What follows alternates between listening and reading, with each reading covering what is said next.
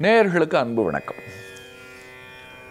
அனுஷத்தின் அனுகிரகம் நிகழ்ச்சியிலே இன்றைக்கு பெரியவர் வாழ்க்கையிலே நிகழ்ந்த ஒரு சுவையான சம்பவத்தை சொல்லப் போகிறேன். பெரியவர் அன்றாடம் தன்னை நாடி வருகின்ற சகலரையும் சந்திப்பார். அப்படி சந்திக்கின்றவர்களில் எல்லா விதமான தன்மை கொண்டவர்களும் இருப்பார்கள். எல்லா விதமான பணிகள் செய்பவர்களும் இருப்பார்கள். அதாவது ஒரு ஆசிரியர் இருப்பார். ஒரு இராணுவ வீரர் இருப்பார். ஒரு வேதம் சொல்லுகிற வேதியர் இருப்பார். ஒரு அரசியல்வாதி கூட இருப்பார். இப்படி அவரை சந்திக்கின்றவர்களில் பாகுபாடே கிடையாது. எல்லாரையும் சந்திப்பார். அப்படி சந்திக்கின்றவர்களுக்கு ஏற்ப அவர்களோடு உரையாடுவார். அரசியல்வாதிகிட்ட பேசும்பொழுது அரசியல் கருத்துக்களை தெரிந்து கொள்வார் விஞ்ஞானியிடம் பேசும்பொழுது விஞ்ஞான கருத்துக்களை தெரிந்து கொள்வார் நாமளும் நம்ம வாழ்க்கையில் இப்போ ஒரு சினிமாக்காரரை பார்த்தோன்னா சினிமா சம்மந்தமாக தானே பேசுவோம். ஒரு ஓவியரை பார்த்தா ஓவியத்தை தானே பேசுவோம். ஒருத்தருக்கு ஒருத்தர் கொடுத்து வாங்கிக்கிறது தானே.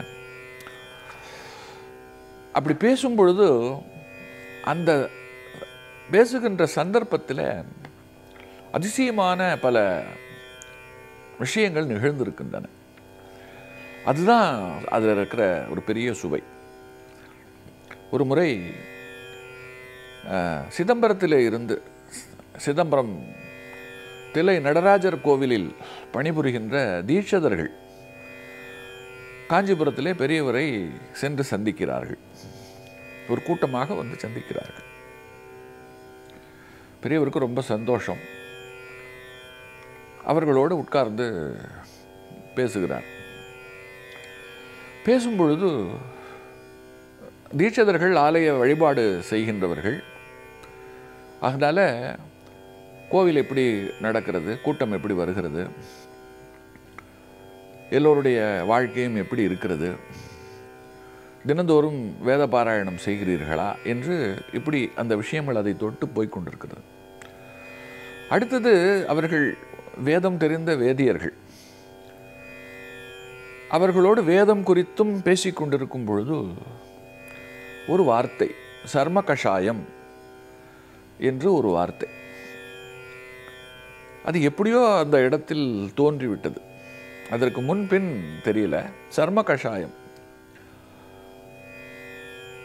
உடனே அவர் கேட்குறார் அதாவது ஒருத்தர் சொல்லும்போது சொல்கிறார் ஒரே கஷாயம் குடித்த மாதிரி ஒரே கசப்பு. அப்படின்னு அவர் சொல்லும் பொழுது நீ கஷாயம்னு சொன்ன உடனே எனக்கு ஒரு விஷயம் ஞாபகத்திற்கு வருகிறது. எத்தனையோ கஷாயம் இருக்குது வேப்ப இலை கொழுந்து கஷாயம் இருக்கிறது. அதே போல் விபூதி பச்சிலை கஷாயம் இருக்கிறது. மிளகை தட்டி போட்டு கஷாயம் இருக்கிறது. இதெல்லாம் மருந்து. ஆனால் உடம்புக்கு நேராக அதாவது உட்கொண்டு அதனால் பயன் தராதபடி புறத்திலே இருந்து கொண்டு அதை நம்ம உட்கொள்ள தேவையில்லை. அது வெளியில் தான் இருக்கும். ஆனால் அது நமக்கு பயன் தந்து கொண்டு இருக்கும் அப்போ ஒரு ஆச்சரியமாக இருக்குல்ல? அப்படி ஒரு கஷாயம் இருக்குது அந்த கஷாயத்திற்கு பேர் சர்ம கஷாயம். இந்த கஷாயம் பற்றி உங்களில் யாருக்காவது தெரியுமா?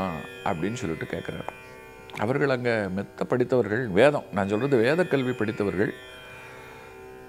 சர்ம கஷாயம் அப்படிங்கிறதும் வந்து ஒரு சமஸ்கிருத சொல். அதனால் அது தொடர்பாக அவர்கிட்ட கேட்கும்போது நாங்கள் அப்படி ஒன்றை கேள்விப்பட்டதே இல்லை அப்படின்னு அவர்கள் சொல்லுகிறார்கள். அப்போ பெரியவர் சொல்கிறார் சர்ம கஷாயம் அப்படின்னு சொன்னாக்கா வேப்பம்பட்டை பலாமரத்து பட்டை மாமரத்து பட்டை இப்படி விருட்சங்கள். இந்த விருட்சங்களுடைய பட்டைகள் மரப்பட்டை இருக்கு இல்லையா அந்த பட்டைகளை சேகரித்து ஜலத்தில் தண்ணீரில் நாற்பத்தி ஓரு நாட்களுக்கு குறையாமல் ஊற வைத்து அந்த தண்ணீர் இருக்கிறது அளவு அப்படி அந்த ஊற வைக்கப்பட்ட அந்த தண்ணீருக்கு பேர் தான் சர்ம கஷாயம் அப்படின்னு சொல்லிட்டு பேர். அப்படிங்கிறார். இது அவர்களுக்கு ஒரு புதிய தகவல். நமக்கெல்லாமும் நிச்சயமாக வந்து ஒரு பெரிய புதிய தகவல். விருட்சங்கள் அவ்வளவு மரம் ஒவ்வொரு மரத்துக்கும் ஒரு குணம். நாற்பத்தி ஒரு மரம் நாற்பத்தி அதாவது பல மரத்து பட்டை. அதை நாற்பத்தி ஒரு நாட்கள் ஊற போடுறது அப்படின்னும் பொழுது அந்த நீரில் அவைகளுடைய குணம் அவ்வளவும் இறங்கியிருக்கும் இல்லையா? அந்த நீருக்கு கஷாயம்னு பேர். கஷாயம்னு சொன்னாலே கசப்பானது மருந்து அப்படின்னு அர்த்தம். கசப்பு மருந்துக்கு பேர் தான் கஷாயம் அப்படின்னு பேர். சரம கஷாயம் அப்படிங்கிறது எப்படி வேலை செய்கிறதுனா சரி இதை உட்கொள்ளாமல் அது எப்படி வேலை செய்கிறது அப்படின்னும் பொழுது அவர் சொல்கிறார் கோவிலில் வைக்கின்ற கலசங்கள் இருக்கிறதல்லவா? அந்த கலசங்களில் இதை வரகு இப்போ கோயில் மேலே கோபுர கலசத்தில் வரகு இட்டு நிரப்புவார்கள். வரகு வந்து பன்னிரெண்டு ஆண்டுகள் ஆனாலும் அப்படியே கெடாமல் அப்படியே இருக்கும். அந்த கலசத்தை ரிமூவ் பண்ணும்போது அதாவது அதை எடுத்துட்டு புதிதாக பன்னிரெண்டு ஆண்டுக்கு ஒரு முறை அதை மாற்றம் செய்யும் பொழுது உள்ளே இருக்கக்கூடிய அந்த வரகை எடுத்து வயலில் தூவினால் முளையும். சொல்லப்போனால் வந்து பஞ்சகாலத்தில் எல்லாமே தீர்ந்து போய் பயிர் செய்வதற்கே வழி இல்லை அப்படிங்கிற ஒரு நிலை தோன்றும் பொழுது விதை வேண்டும். அதுக்கு கலசங்கள் கை கொடுக்கும்.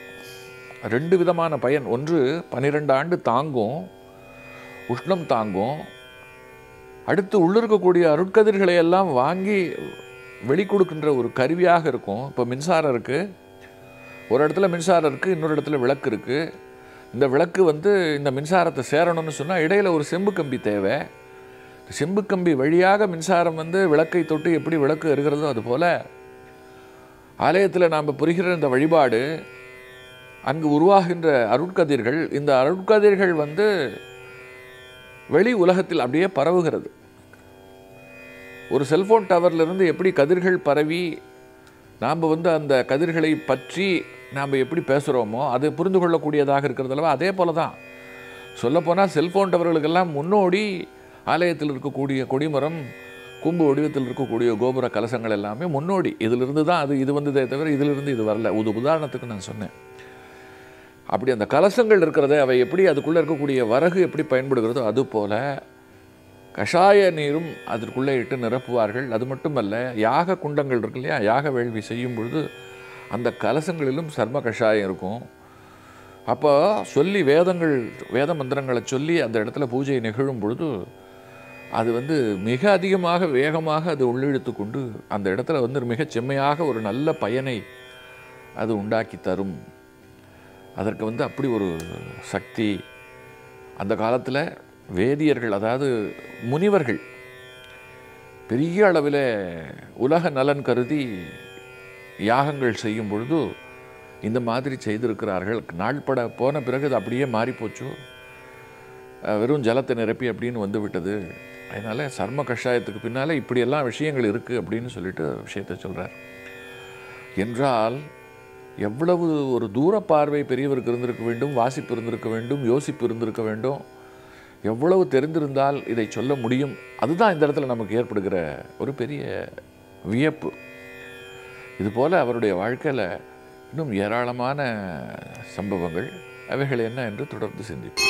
காஞ்சி நகர் உரையும் காமகோட்டி குருவே காமகோட்டி குருவே காமகோட்டி குருவே.